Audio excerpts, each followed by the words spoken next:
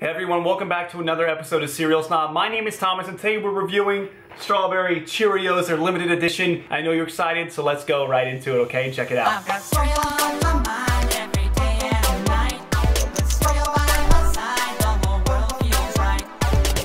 General Mills is following up the previous iterations of Cheerios with a new Strawberry Cheerios. You'll see the box is super bright white, super clean design, very bright reds and colors. You'll see it's just about two and a half inches wide, which I'm super impressed by because it ends up getting about 595 grams in there, which is about 10 and a half real world servings. Now you'll see on the back, also super clean like the front. It says here it's strawberry season. It's something they want you to know that only happens around the spring. Strawberries don't grow in the winter, and they're not kidding around. By August, these are gonna be off the shelves. These are supposed to smell like strawberries. Let's see if it lives up to its name.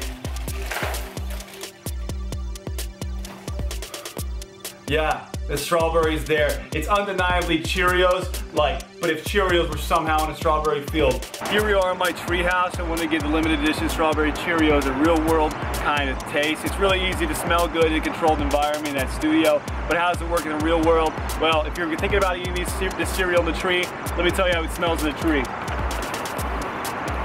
Smells exactly the same as it did inside. I think we're good. Now, as I'm pouring this bowl, what I'm realizing is these look very much like regular Cheerios, except they have a really pink hue to them. I got them right here on some white paper so you can see how pink they really are. Same shape as the previous Cheerios. I'm a little disappointed that they didn't uh, spice up the design for this time around, but you know what? If it's not broken, don't fix it, right? But here they are. They're very pink. They're very oaty. One of my favorite things about the limited edition strawberry Cheerios is they're fully compatible with all types of milk and or liquid. Um, I have 2% milk as I do with my traditional Cheerios. They totally work with this, but so does almond, cashew, peanut milk, coconut milk. If you have Soylent, you wanna put protein shakes in here, maybe you just want water, orange juice, chocolate milk, wine, whiskey, tequila, toilet water. I mean, you name it. This is fully compatible with all liquids. I think General Mills did a really smart thing by making that decision. All right, so the milk pours in this thing. Oh, look at that. Just like you would expect. It pours in like any other regular Cheerio. Oops, hey, hey, well, you got an overboard, but hey, you know what? You can't always plan for that. But it is poured and it is good. We want to go ahead and get our first infield test of the cereal right now with the milk and see how it goes. So I'm gonna go ahead and take my first bite. You know, at first taste, these taste a whole lot like very strawberry Cheerios. The strawberry kind of fades away pretty quickly, but then you get that milk washing in there, and it's like the milk amplifies the strawberry flavor in a way that's really, really good.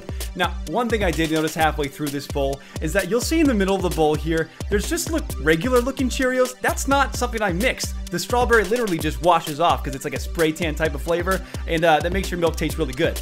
All right, everyone, I'm going for the last bite right here, all the Cheerios. This is for the money, just to make sure if this really is milk resistant like they thought or complementary with the milk, fully compatible. You understand what I'm saying? Well, so there really are some minor crunches there, but super minor. These get kind of soggy like all the other Cheerios. I guess General Mills hasn't improved upon that, and that's fine. The coating here isn't exactly what you want, but you know what?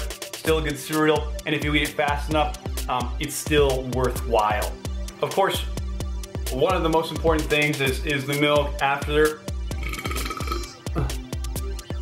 Okay, side note, the cereal makes you burp. Milk cereal makes you burp, okay? Keep that in mind. If you're thinking about buying limited edition strawberry Cheerios, you're probably gonna burp a couple of times. Now, the milk right here is, is the really last test that we can put this through just to make sure if it's up to Cheerio standards. I'm gonna go ahead and go bowls deep and let you guys know what I think.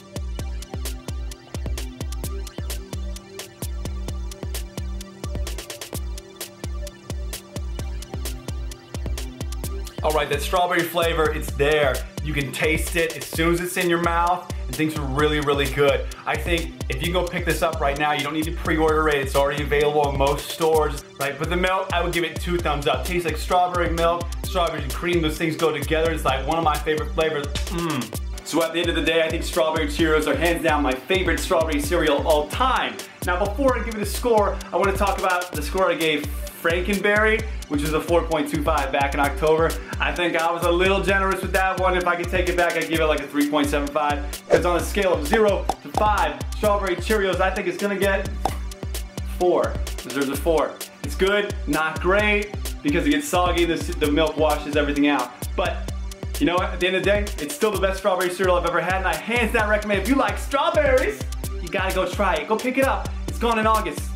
I wanted to come back at you real quick with a couple cereal combinations I recommend with strawberry Cheerios. I think they're great by themselves, but to be honest, they're actually better with these other two. First up, you got Golden Grahams. Oh yeah, Golden Grahams bet you didn't even know about how good this stuff was when you mix it in. You put it in with those strawberry Cheerios, and besides looking like a great color scheme, you got flavor that savors, and oh man, they complement each other in a way where it's sweet, and it's sweet, and it's mmm. Now, if you're a fan of strawberries and chocolate, you're gonna love this next one, because it's strawberry Cheerios mixed with cookies and cream.